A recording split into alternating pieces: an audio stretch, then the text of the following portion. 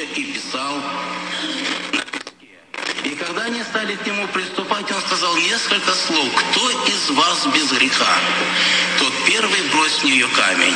Вот этих слов хватило для этих людей. It's drastically better than most of the world. That's Steve Matthews. using music to teach her opposites. Like is this fast or Right. slow?